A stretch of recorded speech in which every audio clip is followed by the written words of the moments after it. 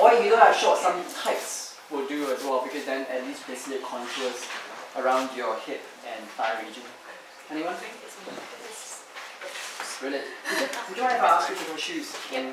Yeah. Can leave the socks on. It's a bit cold today. Yeah. This morning I was um, going to my car, and because there's a slope toward my um, garage, because there's a, there's a, there's a shared garage, I was, my, me and my children were slipping and doing sledging was going there. Many got hurt, but it's okay.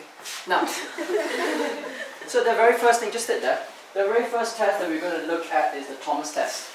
Okay, the Thomas test is a very common test that um, looks at, I mean, the original function of the Thomas test is to test for the tightness of the iliopsoas. Iliopsoas consists of mainly three muscles, the iliacus, the psoas major, and the psoas minor. Is, these, these three muscles form the flexor, hip flexor group. So essentially, hip flexion is like this. Now, if they're tight, what will happen obviously is that because of its, its uh, attachments to the um, L5, some of the lumbar spine, on the iliac crest, on, on the pelvis itself, on the iliacus, and onto the femur. Yeah. If it was tight, then the angle that you, is formed by the hip, obviously it won't be full. It will be restricted. So imagine this is the this is the hip. Uh, no, sorry. This is the uh, lumbar spine and the and the uh, pelvis. This is the femur. The as a representation, this is the flexor group, the hip flexor group. If it was okay in terms of length, then both of them can straighten out to 180 degrees or perhaps slightly more. But if it's tight, then what will happen is that if you increase this, this will pull that along because the tightness will just simply pull along. Okay, so that's the principle of the Thomas test. Now there are different ways to do the Thomas test. The one that we show, we have actually given you in the video is quite a simple one. So what we do is we ask the uh, uh, person to actually lie down flat on the bed, okay? And then what we do is we ask the person to hold on and bring the knees to the chest on the unaffected side. So let's say, for example, if we suspect that it's the right side that is affected, we ask them to, can you now bring your knees towards the chest and hold on to it, okay? Now, what we're looking for is whether there is an arch at the back here. It needs to remain flat. The reason why we're looking for arch is because sometimes patients compensate in terms of tightness by arching the back. Because if you arch the back, then what happens is it brings the um, attachments, which is located on the pelvis, forwards to relieve the tightness of the hip flexors. Yeah? However, if they don't compensate with the increased lordosis or a slightly anterior pelvic tilt, which is the pelvis moving forwards to relieve the strain of the hip flexors. What happens is that if everything is flat, that's perfectly fine, then if there is a tightness of the hip flexors, it will bring the femur up that way.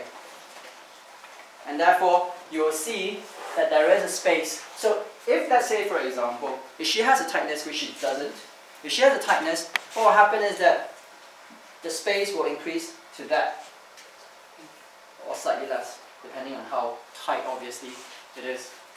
You got that? Okay. Now, this version of the Thomas test is purely to test for the hip flexors. There are different versions you can see out there, and, I, and I've seen people doing different things um, to also test other aspects of the um, um, other um, mu muscle groups within the um, thigh region as well.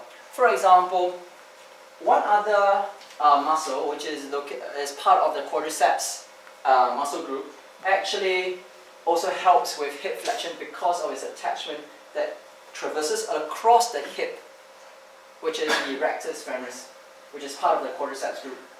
Okay, the distal attachment is on the patella itself. Now, if that is tight, what will happen is that will obviously contribute towards whatever we just observed.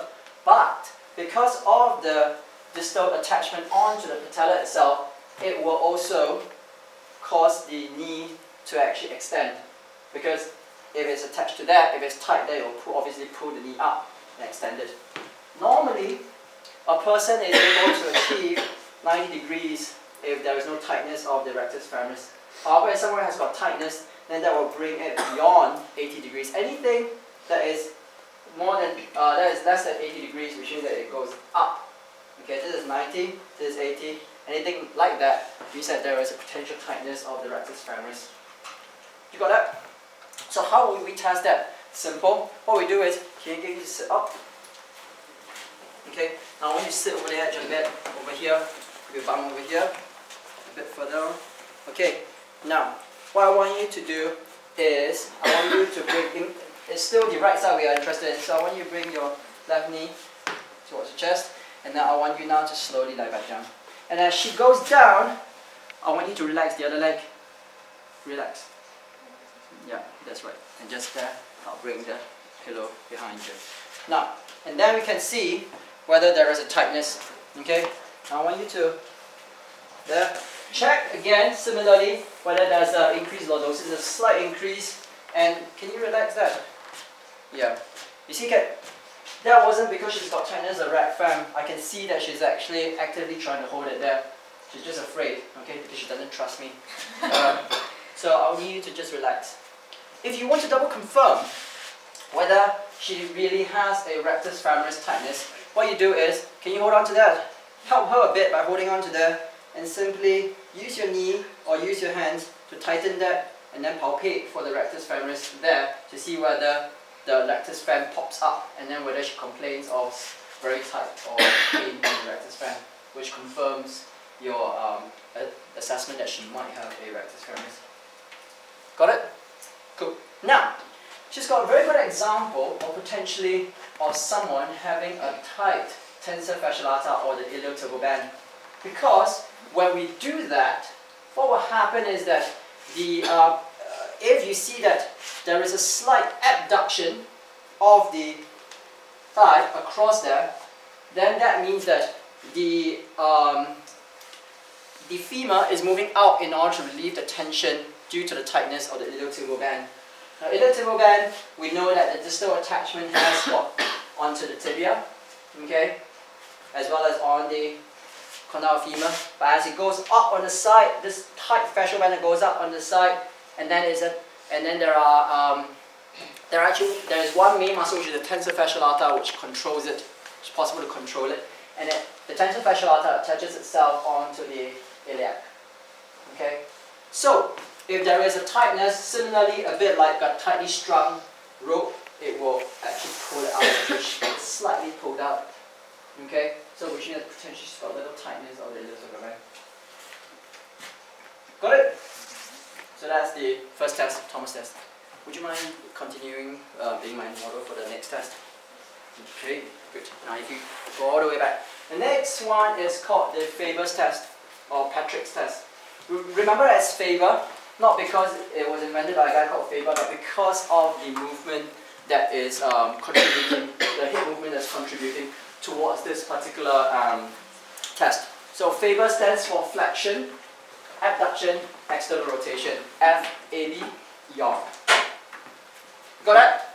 So let's just follow the um, let's just follow what the um, name tells us. So we need firstly to flex the hip, and then we need to extern uh, abduct the hip, and then we need to externally rotate the hip. So if we follow those, what do we get? We get a figure of four. And there's this is also called okay, just relax on me. you got a tight yeah. you got a tight little bend. Okay. Okay, relax. Okay. Just hold it there. This is becomes a figure of four. Okay, you might have put yourself in that position when you're trying to read on the sofa. Okay. I often do that. Okay. Because when I do that when I'm sitting down I just need to lie back and then uh, I turn into that. So now this is not the end of the test. The test itself is to look at whether there are any hip issues, hip joint issues. When you put the um, lower limb in that position, what it does is that it actually causes quite close compression of the hip joint. Okay, what you're doing is you're tightening up all the structures within the hip joint itself. Don't the way to stress test and complete this test is by stabilizing the anterior superior iliac spine on the opposite side, the contralateral side, the good, uh, the good side, which we know that is this here. For the second class that hasn't done this, don't worry about it. But there is a bony point, the highest bony point on your pelvis over here. As you can see, for those of you who are actually quite level here, you can see that her entire pelvis is actually tilted sideways. So all we need to do is we need to help stabilize that and hold it there. Okay? And then what we need to do is simply do a gentle compression downward. So just on the knee, just simply put it as far as you can go. Okay? Is there any pain that you're experiencing? Okay, besides that, because my hand's are very bony, I don't have very much. What I need to do is get a towel. Do you have a towel or a pillow? Just give it to me. Okay. Thank you. that will help. Okay, and I got a nice padded pen. Okay, is that better? Yeah. Tough customers. but by the way, this angle needs to be above the knee, uh, the, uh, the, uh, the, the patella. So you do that and then you push down. Do you feel pain? No, I wouldn't expect her to. But, do you feel any tightness anywhere? Yeah, she's got probably slightly tight, either um, adductors or uh, if you feel, if the person complains of pain in the hip, that means that, that, that there might be a suspicion that there might be a hip issue. Okay? Now, sometimes, because of the way you've added the, uh, you've, added, you've added a stress onto the hip joint, when, it, when, it, when you push that down, it essentially screws and then screws into the hip joint and then tilts it. So that what happens is this is the lumbar spine, it articulates with the hip bone over there, and what it does is it actually pushes it in, so that it also can be a partial test of a sacroiliac joint as well.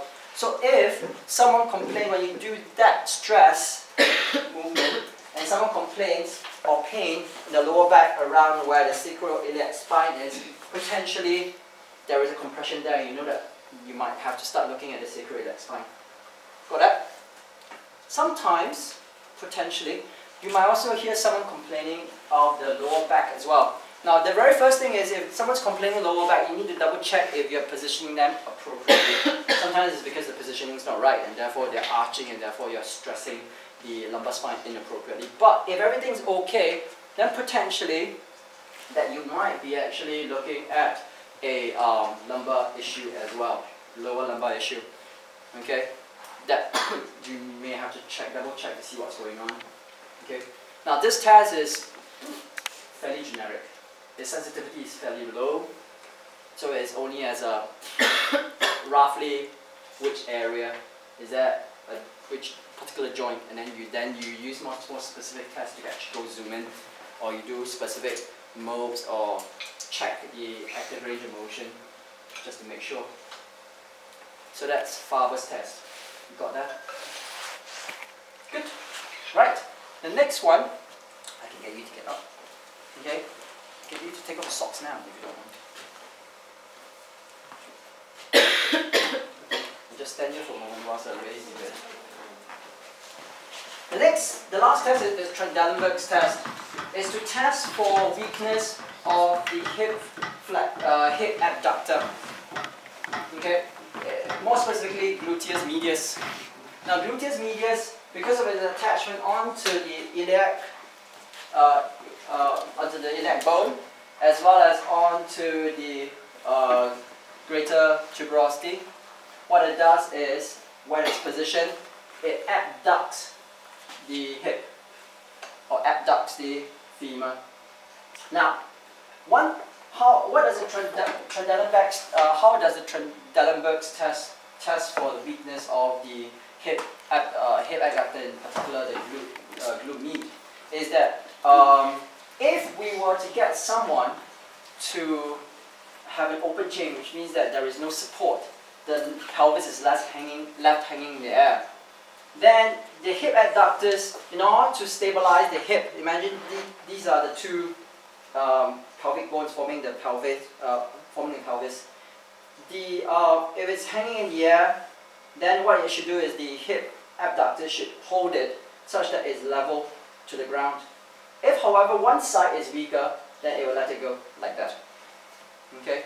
So how do we do that in principle on someone like that? So what they do is, I want you to now put your hands on the uh, on the things that on the planes of support. Now if you want to, let's say, test the right lower limb, then what we do is get a person to just simply bend your knee and raise up and just stand on your left leg. Probably. Okay? Don't need to be so high, just relax and just simply raise it like that will do. Okay? And then what you want to do is go to the back of the person and double check the uh, the iliac crest right there to make sure that it's level. If the person has got um, right uh, uh, glute med weakness, then what will happen is you you can let that down. So I tilt this downwards, which is not very good at doing a very good job of that, but it's okay. Let me demonstrate to you, thank you. Let me demonstrate to you how it would look like. Okay, so this is okay. If someone's got glute med, uh, so I relax my glute med, this is what happens. Okay, this is weakness. You can see that this pelvic, uh, the iliac crest here, that this level is much lower than the other level over there. Okay, so the person will be simply doing this. They won't even do like that and then do that. So they just simply do that. Because they, they, they, they, they can't hold. The, the glute med is so weak that they can't actually hold on and level it up. Got that? Okay? And because of that, it has got implications when for walking. If someone's walking, when we actually swing through, there is a slight abduction in order to bring it across in order to clear. Okay? Or when someone's in stance, they will obviously, because the other leg is free hanging, okay, might be weaker. So what will happen is that in, in order to clear the leg, they might actually do a much more swinging pose, like that. I'm, exaggerating a bit, okay, but they will actually try to clear by bending the knee and trying to do a much more circular motion in order to clear the foot in order to step forwards. Those are the three tests we're doing today. Do you have any questions for me before we carry on? Was that clear enough? Good. Can I you now break up into the into two rooms and I'll come and help you? Okay, thank you very much.